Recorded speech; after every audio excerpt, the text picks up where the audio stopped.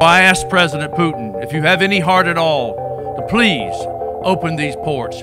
Please assure everyone concerned that the passageways will be clear so that we can feed the poorest of the poor and avert famine as we've done in the past when nations in this room have stepped up together to the call of action to prevent catastrophe from year after year.